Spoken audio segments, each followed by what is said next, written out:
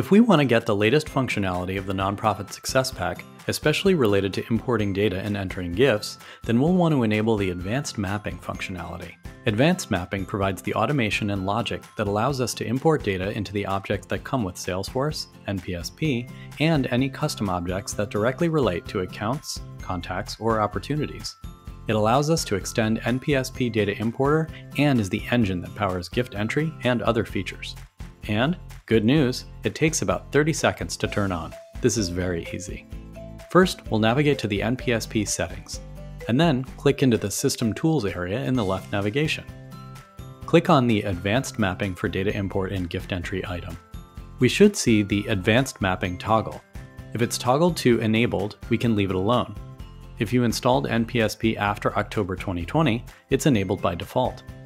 If it's toggled to Disabled, we'll keep going. Ready for the hard part? Click the toggle. And we're done. When we enable advanced mapping, Salesforce converts our existing help text field mappings to advanced mapping. Once enabled, we'll edit mappings and create new ones from this page. If some of our existing help text mappings were invalid, we'll receive a message at the bottom of the Data Import Advanced Mapping screen with a list of help text mappings that didn't convert to advanced mapping. To fix these, check out the help docs for more info. Congratulations, we've enabled advanced mapping. Now we're ready to check out documentation and create our own custom mappings.